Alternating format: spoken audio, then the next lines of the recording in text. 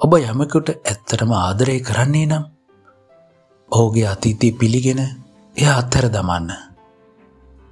දෙනෙත්. දේවාංගනීත් නැගිට්ට ඒ ළඟම වගේ. ඇය නැගිටිලා බලද්දි පරිසරය දෙවනත් කරගෙන වහිනවා.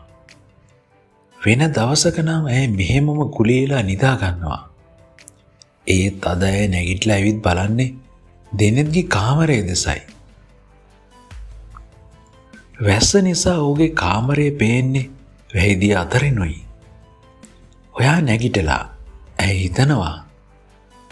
නෑමක් ගැන හිතා ගන්නවත් බැරි තරම් සීතල පහන්දරක් මේක. ඒත් පුදුමයකට වගේ කෙල්ල නානවා. මේ පාන්දර ස්කීම් එකේ ටැප්පලින් එන්නේ අයිස්සගේ සීතල වතුරයි. ඊටත් වඩා මේ වැහිබර පාන්දර පරිසරය උෂ්ණත්වය අන්සක විස්සට විතර බැහල තිබුණි ඒ තෑ වෙලාර නානවා දේවාගනය උදේට අඳින්න ඇඳුමක් අතරගන්නේ සීතලේ ගැහිගෙහි තුවාපට පමණක් ඇදගෙන ඇවිල්ලයි.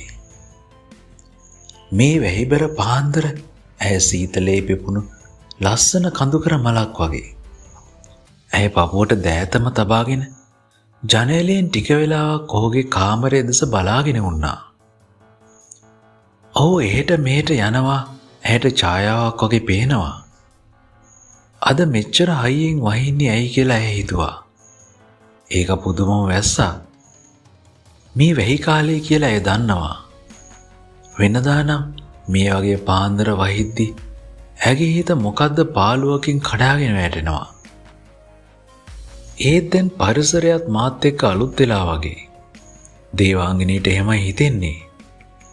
ඇයට සීවෙන්නේ මෙල්බන් නගරේ වින්ද තද වේදනාබර සීතල දවස්.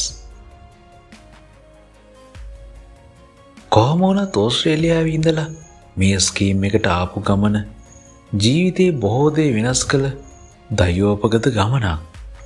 ඔයා ලස්සන වෙනසක් කරපු සුබ නිමිත්තක් වගේ. ඇයට හිතෙන්නේ එහෙමයි. දේවාංගනි අදින්න ගන්නේ මෙල්බංවල පින් පැෂන් වෙතින් ගත්ත ඇඳුමක් ඒක මේ ජීවිතය දැක්ක සරලම ගවුමක් සුදුසා කළුමිශ්‍ර ඒ ගවුමට ඇහරි ආසයි. ඒත් ඇන්දි නෑ. ඇයි මේක ගත්තේ සෑල්ලු දවසක ගෙදරට අඳින්න කියලයි. අත්නැති ඒ ගවුන් ඇඳල ඇගේ කොෆී බ්‍රවන්් පාට ස්වීටර් එක උඩින් දාගන්නවා. ඒ ඇති කියලා ඇය දැන් දන්නවා. තෙත කොන්්ඩේ දැන්ම මනම් වේලෙන එක නෑ කියලා කිල්ල දන්නවා. ඇය ඩ්‍රයර් එක යන්තමට අල්ලනවා. ඊටත් පස්සේ අල්මාරෙන් ඔහු වෙනුවෙන් ගත් ලස්සන තෑග ගන්නවා. ඒ පුංචි අත්තුල්ලෝස දෙස ඇයි බලාගත්තත බලාගෙන ඉන්නවා.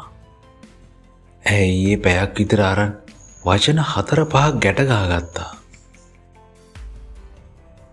මගේ මේ දෙනතින් දුටු ආදරණීයම මිතුරා ඔබය. මගේ මේ දෙනතින් දුටු උතුම්ම මිතුරා ඔබය. නෙත් දෙකසේ ඔබව රැකගන්නට සිතෙන්නේ ඒ නිසාය.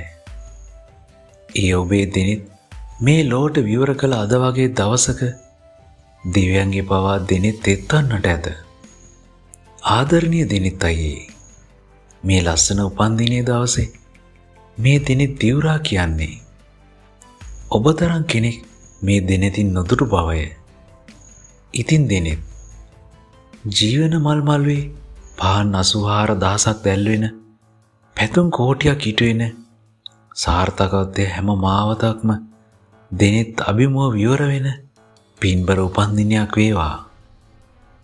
දෙනෙත් එත්ව යන මේ දවසේ මා ඔබට පතමි. මේ ඔබේ පුංචිමිතුරිය දේවාංගනී. ඇය ඔය පද ටික ගොතාගන්න පැයක් පමණ ගත්තා. ඒත් එක ලියල යවරුණට පස්සේ ඇගේ හිතට වෙනස් සතුරක් දෙනුණා. ඒත් මේ ජීවිතය ගැලපු ලස්සනම සිංහල අකුරු ටික මේ කියලා ඇයට හිතෙනවා. ඇයේ වචන ටික සිය පාරක් විතර කියව්වා. එක අකුරක්කත් වෙනස් නොකරම. ඒක මේ පාන්දර කියවද්දීත් හැකි දිනෙත් එත්ව යන්නේ නිසයි. කෙල්ල යළිත් ඔහු වෙනුවෙන් ගත් ලස්සන අත්තොල්ලොසු අතටරම් බලනවා. ඒක කළු සම්පටියක් එදු රිදීපාට මුහුණතක් ඇති ලස්සන පිරිමි අත්තොල්ලොස්වා. ඒ ඇති චාම් ඩිසයින් එකට ඕ ආසවෙයි කියලා ඇය හිතුවේ. හෝවගේ පිරිමික් සාමාන්‍ය දේවල් වලට ආසවෙන්නේ කියලා ඇය දන්නවා. ඇහැරි පරිස්සමින් දිගටි ඔර්ලෝසු පෙට්ටියට ඔර්ලෝසු දමනවා. ඊටත් පස්සේ ලස්සන රෝසපාට කොලේගලිව් පැතුමත් දිගඩි හැඩයට නවලහි රඳවනවා.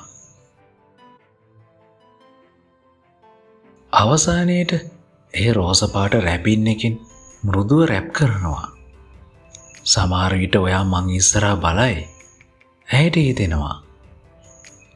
කෙල්ල පහලට එද්දි අම්මා තාත්තා දෙන්නාම පහල කුසි ඉන්නවා. තාත්තා තීබොන්නේ අම්මා සමඟ කතා කරමි කුස්සිය පුටුවලට බර වෙලයි. කාලෙකට පස්සේ මේ දවස්සල හිනා වෙලා ඉන්නවා. ඒ අර දරුවන් නිසා. කරුණාරත්න මහත්මිය ඔහුට දැන් ටික වෙලාවට කලින් කිව්වා. එයාව ලේසින් හිනාගස්සන්න පුළුවන් වේ කියලා මම හිතුවේ නෑ. කරාර්ථ මහතා කිව්වා තාත්තා ඇය කතා කරන්නේ තරමක ලැජ්ජාවකින්. අදේ ගිදරට යනවා කියලා දෙන්නම දන්නවා.